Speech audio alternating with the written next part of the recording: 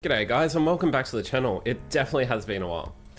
Recently, I have completed the Creative Red Teaming course by Mandiant, and while I did have a fun week off doing this instructor-led training, it was a little bit disappointing to say the least.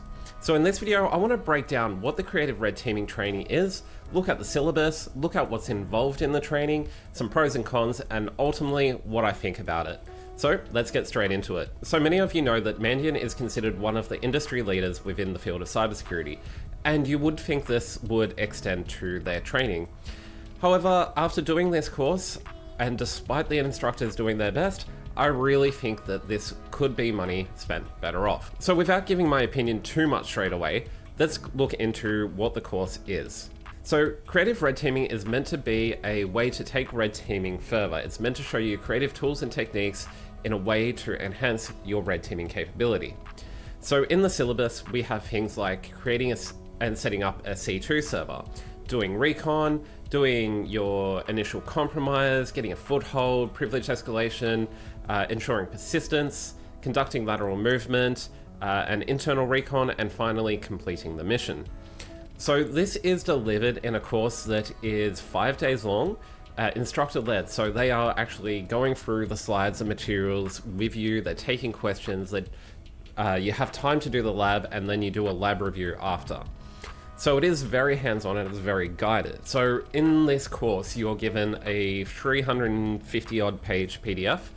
Uh, you obviously have the instructor instructor led training as well, uh, and they they do some of the exercises uh, live in front of you rather than just showing you slides, which is pretty cool. Um, and then you have a lab. So the lab is much like the CRTO, where it is a contained lab environment where you access it through Apache Guacamole, and you have both a Windows, a Windows and Linux virtual machine to conduct the attack.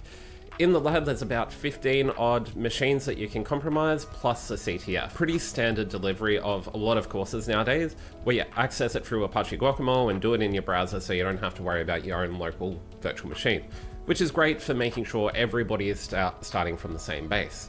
However, the connection to this lab was absolutely awful. And many of you know I live down here in Australia, so we're at the bottom half of the world, and connecting to servers in North America were just awful. I often had frequent dropouts, about once every 30 seconds. However, one of the trainers did suggest that I use a VPN and connect to a North American VPN server, which I have private internet access for, not sponsored. And that actually really solved the issue. Obviously, this is not great, especially for a very expensive course. They really should provide you everything you need rather than you having to uh, go about your own way to be able to access their training. And this issue, I really didn't have that much in CRTO. Only a couple of dropouts now and then, and sometimes a little bit of lag, but largely quite okay. So for my personal experience of the course, what I did find was the course materials really seemed, seemed outdated the materials were about five years old. We're using old versions of Linux and Windows, and a lot of the techniques just largely isn't something that's really used anymore. And while I did find that the course was marketed towards the, you know, creative red teaming, uh, we're going to look at creative elements of this, I really didn't find anything too creative with it. And I also found that syllabus was way too broad. So this syllabus was really a mix of the OSCP and the CRTO. It covered everything from how to do an nmap scan to how to do a SQL injection to all the way of, okay, here's some low level exploit that you can use with PE file loaders and everything like that. It really just was way too broad. It covered way too much context. And to squish all that in within five days with a audience that is vastly different in skill, then this really isn't going to deliver that solid training experience. If you've done something like your OSCP or similar, then you are already probably about confident with about 80%, 90% of this course material. So onto the cost and value, and while I've kind of described the value, the cost isn't so clear to understand. This isn't made public on their website, and some basic recon made me see that it was about worth 5,000 US dollars.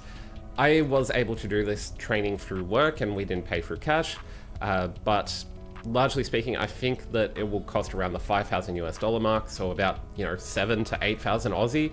And for that price, I could do OSCP, I could do CRTO 1 and 2, and probably grab a Sektor7 course or two and gain way more, way much more knowledge in these small courses at my own pace rather than trying to cram everything in in an instructor-led five-day course. So the finances here really don't stack up. So on to the pros and cons. The lab instructors were really helpful. They were doing the best they could with the limited resources they had.